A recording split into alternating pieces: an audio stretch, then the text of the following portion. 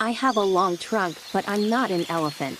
I have tusks, but I'm not a walrus. I spray water, but I'm not a fountain. I am gray, but I'm not a cloud. Can you guess who I am?